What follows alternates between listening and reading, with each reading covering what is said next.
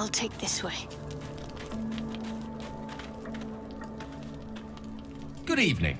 I'm here on behalf of Gale of Waterdeep. He wishes to extend you an invitation for a private conversation in a more suitable locale. Gladly. Simply follow yonder path, and soon you will find him.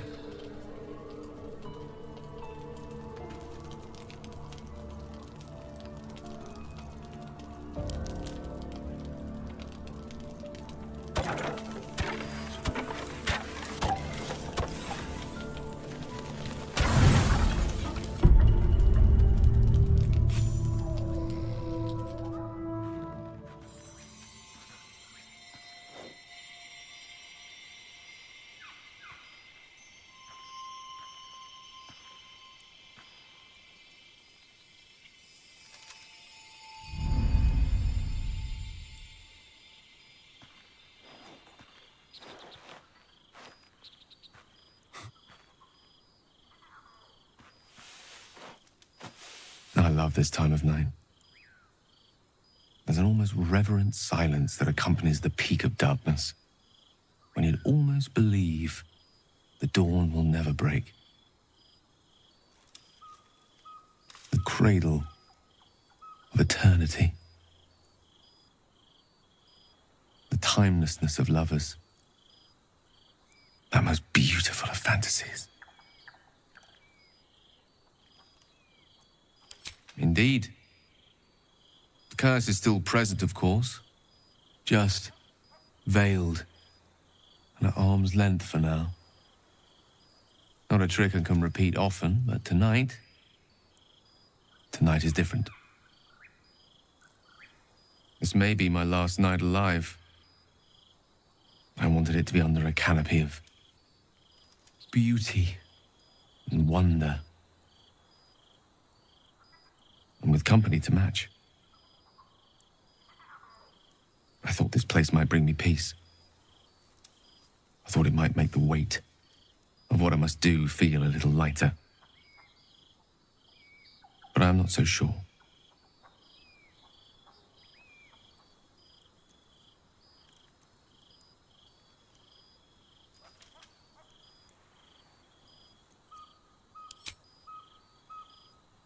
Thank you. Even if we do find another way, perhaps this is the right way. The end fate wishes for me. There is no point in running from the inevitable. Better to meet it on my own terms.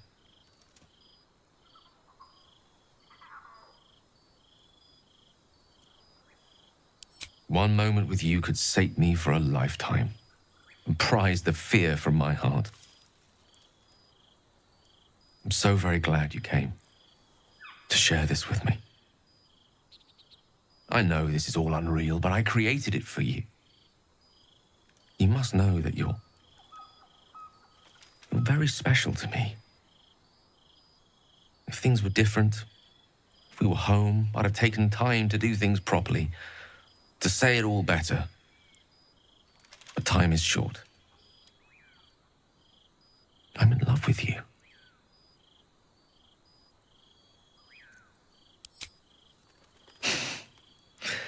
Hmm. That's a relief. It would be a shame to spend my final hours making an ass of myself.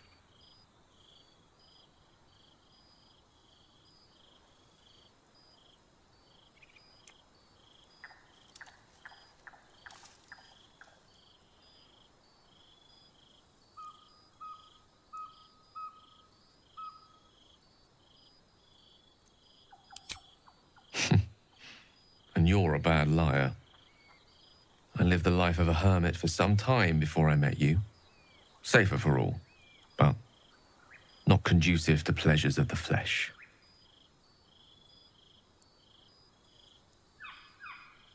I wanted to be perfect. To bond with you in the way the gods do, intertwining our spirits in visions of the weave.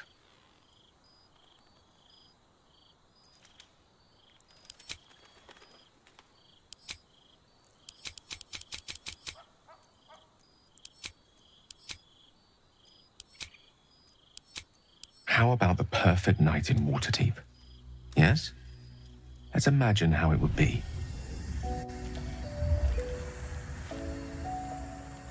The scene is this. You and I stand in the room that is the center of my universe. Sculptures, the paintings, the walls livened by the spines of a thousand books. The grand piano plays the Lyrian suites all by itself, and as we look out beyond the arches that lead to the terrace, we see the weary sun take its daily dive into the sea.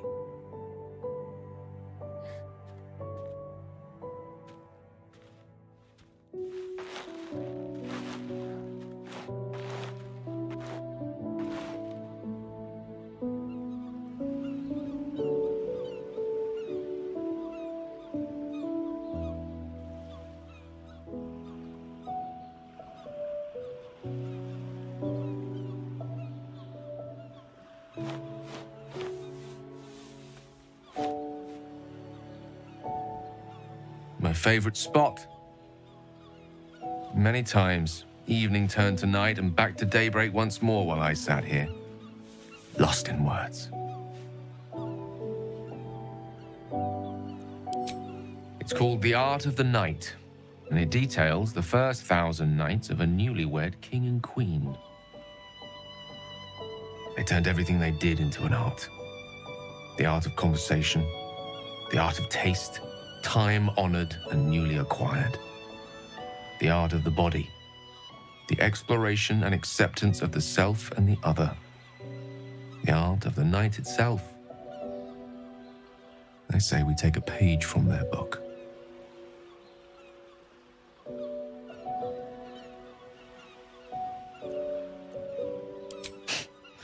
I'm many things, but coy's not one of them. What do you say?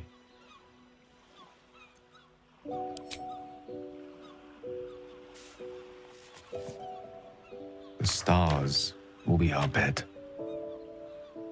Come here.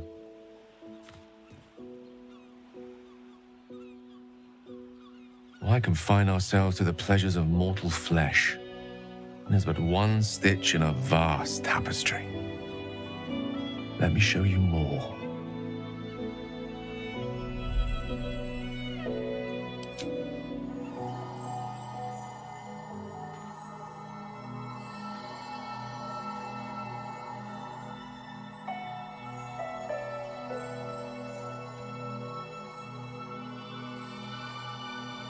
When you wake, it will be back at our camp.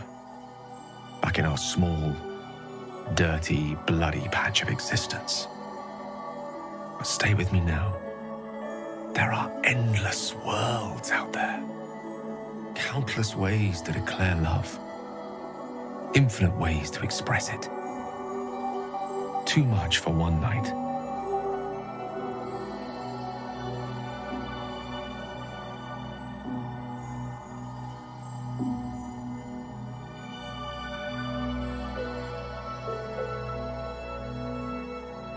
Shall try.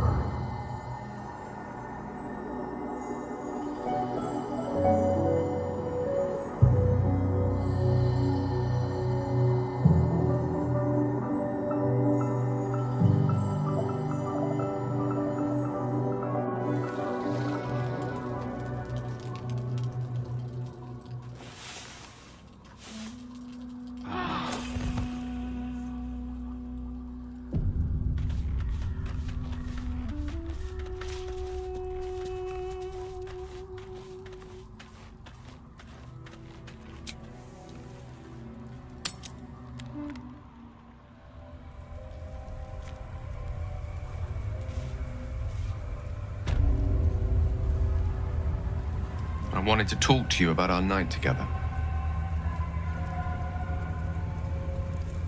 Have you ever walked to the very edge of a great precipice and shuddered at how easy it would be to step into the void? Ever since Elminster told me of Mystra's expectations of me, it felt like I've been walking along such a cliff face. The great drop to nothingness never out of my sight. But you, you led me away from the edge. Without your words, your touch, I fear I would have sought purpose and solace in that void. Reminding me what living can feel like.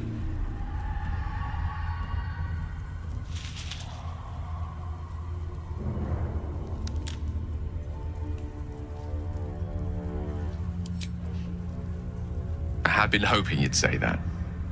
To be an object of pity. I couldn't live with that. I hope the end is much farther away than I had suspected. I hope that night meant as much to you as it did to me. And I hope we will have more time together. Together. Alone. I'll see that there is. Woe betide anyone who tries to stop me.